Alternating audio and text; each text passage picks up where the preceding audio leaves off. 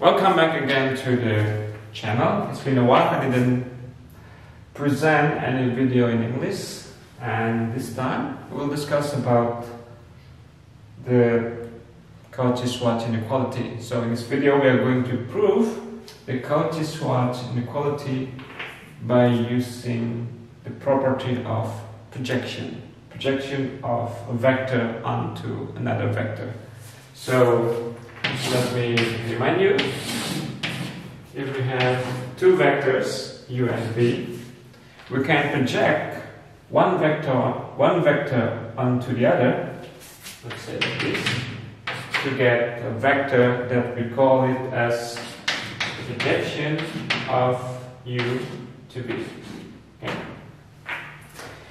And the formula for this projection you can find in any standard textbook on linear algebra or even on calculus. Yeah. So the projection of u to v is first basically it is a vector which is a multiple of v. So for example if the u is going there then the projection from u to v is going to be a vector with direction is opposite to v. So then in general it is just a multiple of v. So some scalar times v. And the scalar can be obtained by taking the dot product of u and v and then divide by the, the length of v squared. So that's the projection. Okay? Now notice that, uh, okay, so before we prove the Cauchy inequality, so let me remind you what is the statement. Cauchy-Schwarz inequality that if u and v are vectors in Rn, then we have the dot product of u and v is less or equal to the length of u times the length of v.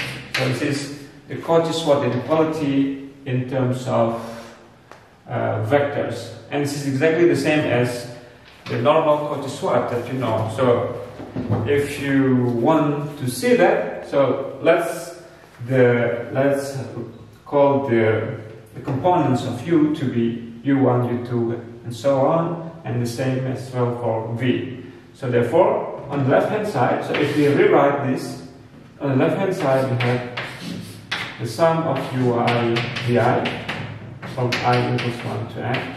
Okay?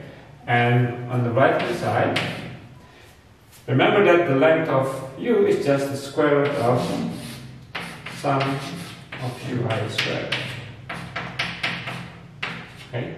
And then that one is also the sum of i equals 1 to n vi squared. So this is the normal Cauchy-Schwarz that you probably know in terms of summation and the product of sequence, two sequence of numbers. Okay. So, okay, this is the statement that we are going to prove, and I mentioned earlier that we are going to prove it using the property of projection. Okay. So, at least in, in general, um, I'm, I'm not quite sure if we can apply this in general, but at least it works for R3.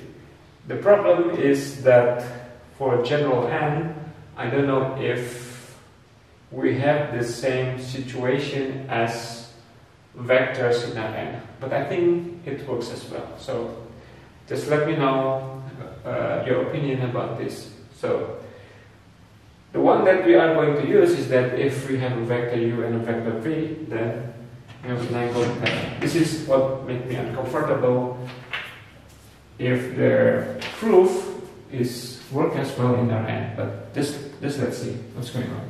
Okay?